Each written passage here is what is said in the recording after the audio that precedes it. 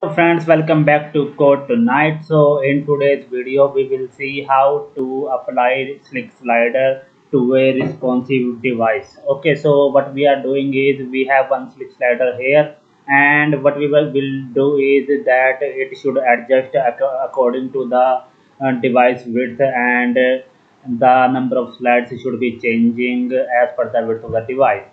So here we have these images. For sample I have some images and uh, I have initialized the slick slider here. Before that you have to make sure uh, you have all the scripts uh, here. The jQuery one the slick min.js and the two CSS files. Okay so now once you have these in the head section then you can go and initialize the slick slider now for making it responsive what we have to do is we have one property here named responsive and you can pass a array to that property.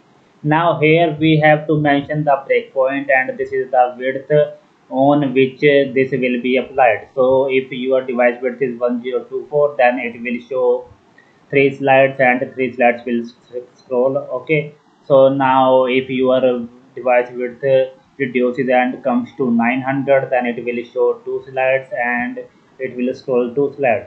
So it works like that that it will change the number of slides as per the device width.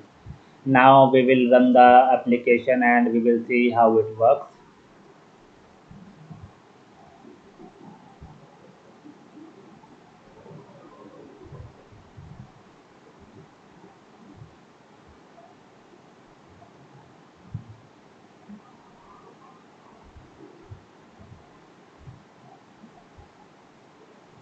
okay so you can see by default what we have here is we have four slides to show and four slides to scroll. So if you press the arrow keys then it will show four slides. Okay now what we will do is we will try to reduce the uh, width of the browser and suppose I reduce the width and you can see it is now showing the three slides here. Okay and it is scrolling the three slides now if I reduce it more you will see it is now showing the two slides.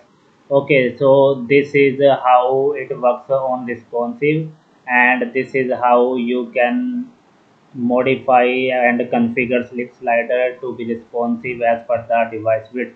If you want the source code for this then what you can do is you can go to code2night.com and we will also provide you a direct link with the video description and here you have this responsive slick slider blog over here. And here you can click on the download attachments and you will be able to download the running source code for this uh, slick slider. Okay so you can download the source code and you can let us know if you face any kind of issue. We will provide you the link with the description. So thanks for watching guys and this is how we can apply responsive slick slider in ASP.NET MVC. So thanks for watching.